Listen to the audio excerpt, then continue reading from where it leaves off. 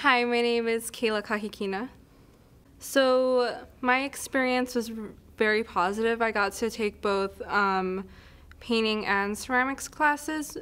It prepared me in the ceramics field just by learning different skills and techniques, basically, that helped me later get into Manoa's art program. Actually, I'm uh, teaching two children's ceramics classes at the Hui No'eau here in Maui. So I plan on finishing my BFA in ceramics at Manoa, and then I'm gonna apply to a master's program because I want to get uh, MFA, Masters of Fine Arts, so I can um, teach professionally as a professor.